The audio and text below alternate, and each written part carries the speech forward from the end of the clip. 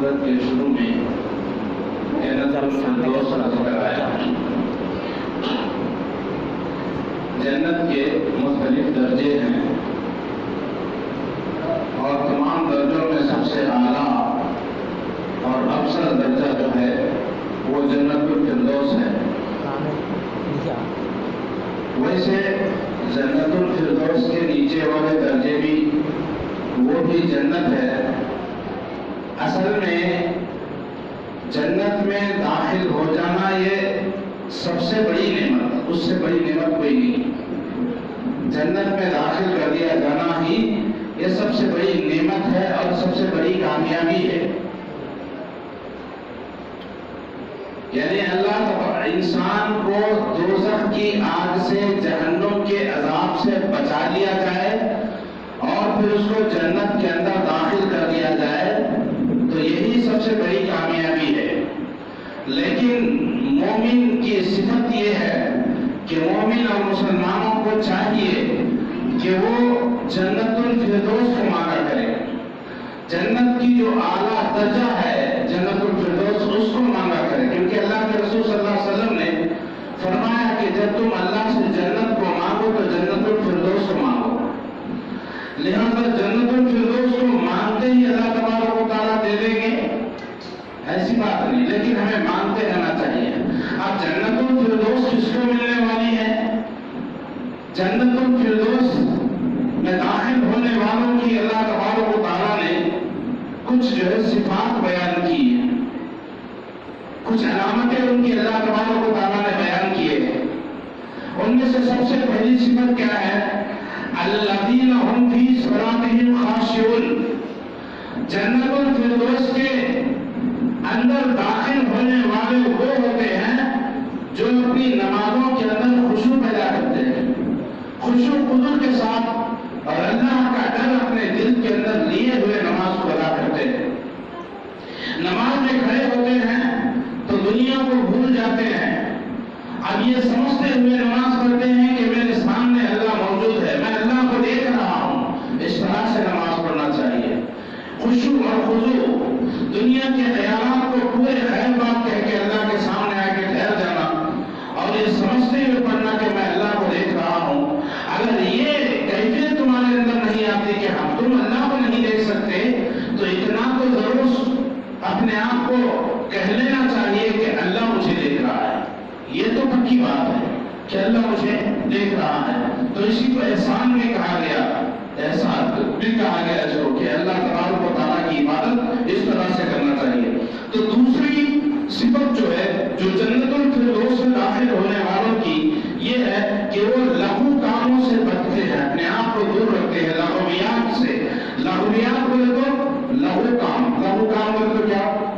یعنی ایسا کام جس سے نہ دنیا کا کوئی فائدہ ہے اور نہ ہی آخرت کا فائدہ نہ دنیا کا فائدہ نہ دین کا فائدہ سمجھ رہی اب دنیا کا مانا آپ آدمی دکان کرتا ہے، دکانداری کرتا ہے، یہ لگو کام نہیں ہے۔ آدمی نوکری کرتا ہے، یہ لگو کام نہیں ہے۔ کھیتی باڑی کاشتکاری کرتا ہے لگو کام نہیں ہے۔ لیکن لگو کام وہ ہے آدمی خالی بیٹھ گیا اب لوگوں کی غیبت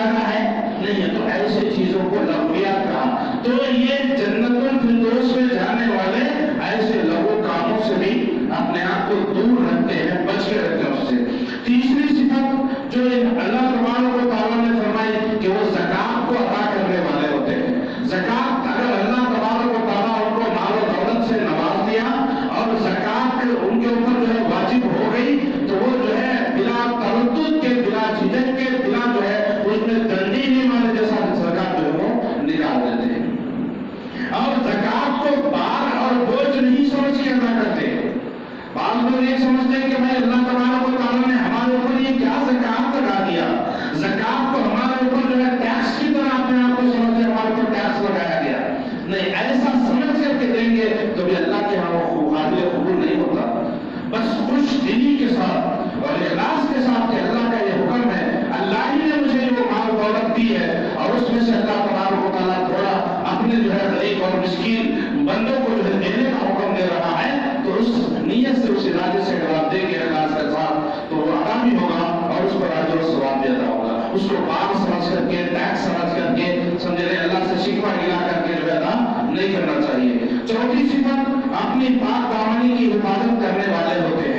اپنے شرمگاہوں کی حفاظت کرنے والے ہوتے ہیں۔ اپنے بیویوں کے علاوہ وہ دوسری عورتوں کی طرف نظریں اٹھا کر کے بھی نہیں دیکھتے۔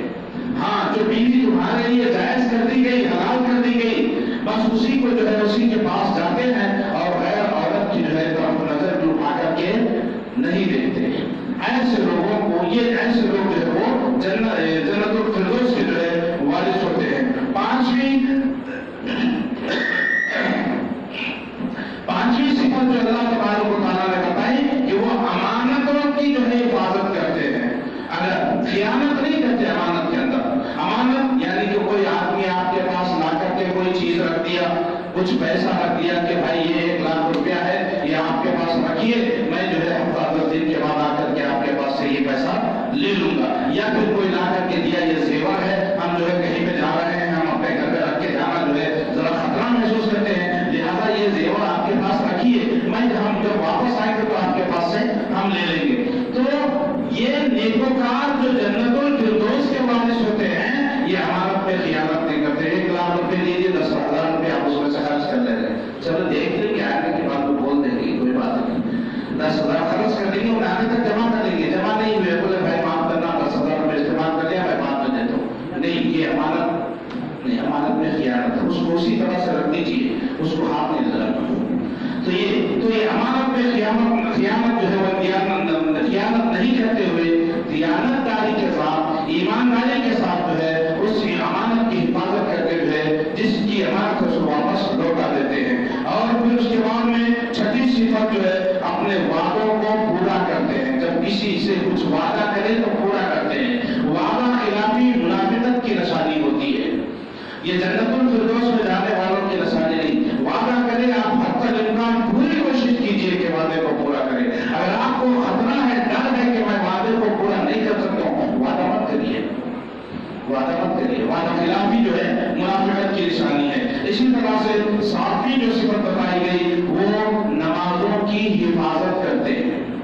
پہلی صفت کیا ہے نمازوں میں خوشو پیدا کرتے ہیں۔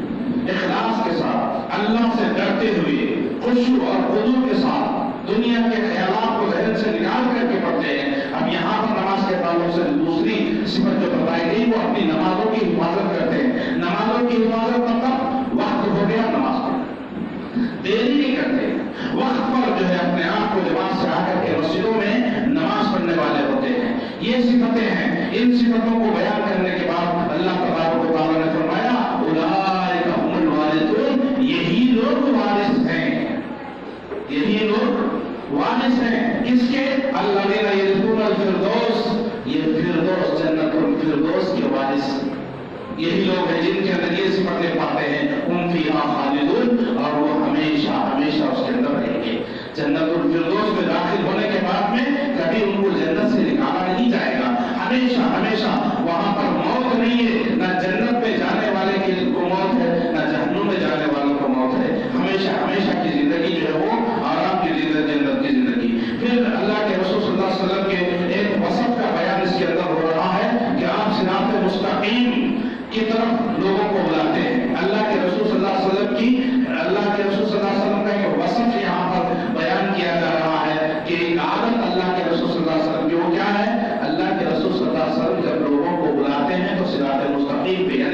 سیدھے راستے کی طرف بلاتے ہیں اور سیدھا راستہ کیا ہے؟ اللہ کا راستہ ہے۔ اللہ کے رسول کا راستہ ہے۔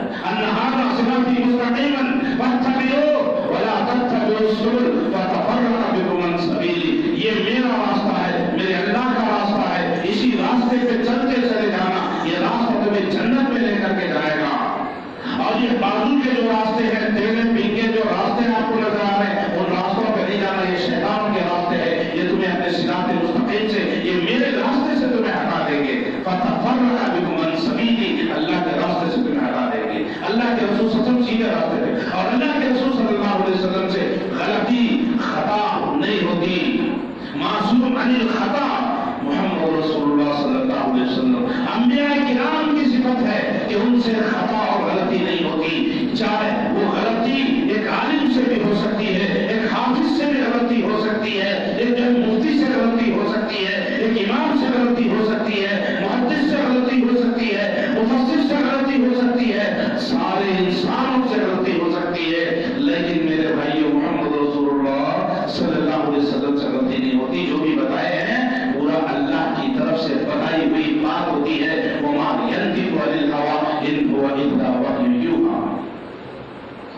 اپنی طرف سے نہیں بولتے نبی، اللہ جو وہی کرتے وہی، اللہ کے رسول صلی اللہ علیہ وسلم سیدھا راستہ۔ جو بھی بتایا وہ سراط مستقیم۔ ایک ایک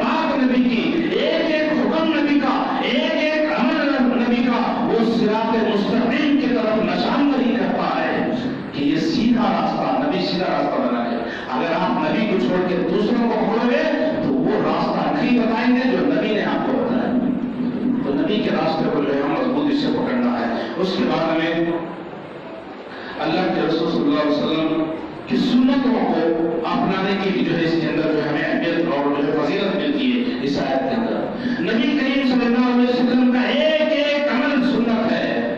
آپ کا کھانا سنت ہے، آپ کا پینا سنت ہے، آپ کا بیٹھنا سنت ہے، آپ کا سونا سنت ہے، آپ کا جاگنا سنت ہے، آپ کا چلنا پھرنا، آپ کا جو ہے چال، آپ کی ڈال آپ کا پہننا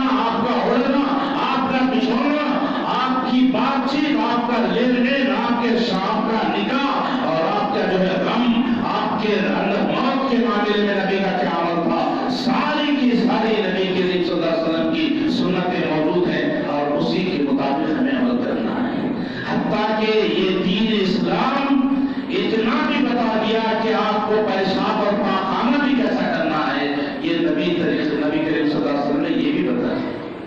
تو یہ نبی کریم صلی اللہ علیہ وسلم کے طریقے پہ جو بھی عمل کرنا ہے، نبی کے طریقے پہ کرنا ہے، کسی اور کے طریقے کو نہیں ہونا اللہ کے رسول صلی اللہ علیہ وسلم کا عمل کیا ہے؟ بعض لوگ کہتے ہیں جی بعض چیزیں ایسی ہیں، مثال کے طور پہ آپ داڑھی کو لے لیجیے داڑھی کے بارے میں آپ لوگ کہتے ہیں کہ یہ نبی کریم صلی اللہ علیہ وسلم کا جو ہے، یہ عادت ہے۔ نبی کریم صلی اللہ علیہ وسلم کی عادات میں سے ہے۔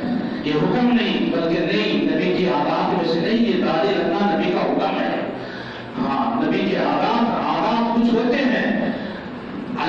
رسول صلی اللہ علیہ وسلم بعض معاملات کے اندر حکم نہیں دیے، خود عمل کر رہے ہیں، لیکن لوگوں کو جو ہے اس کی تاکید اور جو ہے اس کی ترغیب نہیں دلائی۔ تو وہاں پر آپ کو جو ہے سوچ سکتے ہیں کہ آگے پیچھے، لیکن جہاں پر حکم ہو گیا، وہ حکم جو ہے نبی کی سنت نہیں، وہ وجوب واجب ہو جاتا ہے، وہ عمل آپ کے اوپر واجب ہو جاتا ہے۔ داڑھی واجب ہے، واجب ہمارے ہاں واجب اور فرض میں فرق نہیں ہے۔ واجب اور فرض میں کوئی فرق نہیں ہے۔ ہاں احناف کے ہاں واجب اور فرض میں فرق ہے۔ واجب الگ ہوتا ہے ان کے پاس، فرض الگ ہوتا ہے، لیکن قرآن و سنت کی روشنی میں فرض وہی ہے جو واجب ہے اور واجب وہی ہے جو فرض ہے۔ اس طرح سے۔ تو یہ فرض ہو گیا تو کا رکھنا فرض ہے۔ داڑھی کا رکھنا فرض ہے۔ داڑھی کو مل رہے۔ اور اللہ کے رسول صلی اللہ علیہ وسلم کے کے چھوٹا سا زیادہ تر ہمارے اندر جو ہوتے ہیں، ایک تو نوجوانوں کے اندر داڑھی کلین شو دوسرا تخنوں کے نیچے پینٹ پہننا، پیجامہ پہننا، لنگی کا پہننا۔ تخنوں کے نیچے اللہ کے رسول کی کہاں پر حدیث ہے، بخاری کی روایت ہے۔ وہ کپڑا جو تخنے کے نیچے لگا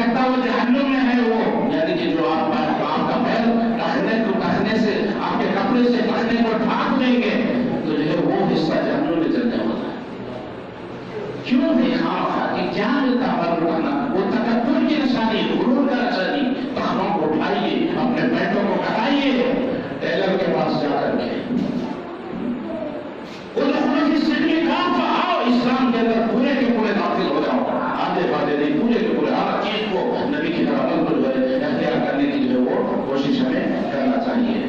لہٰذا میرے بھائیوں، تو نبی کریم صلی اللہ علیہ وسلم کی سنتوں کو زندہ کرنے کی کوشش کیجیے اور اس کے بعد میں جو ہے اللہ تبارک و تعالیٰ فرمایا زمین کے اندر جو بھی چیزیں ہیں، زمین اور زمین کے اندر جو بھی چیزیں ہیں، یہ اللہ تبارک و تعالیٰ کی ملکیت ہے۔ انشاءاللہ شاید وقت ہو گیا انشاءاللہ فی الحال درس میں کچھ باتیں مزید بتانے کی کوشش کریں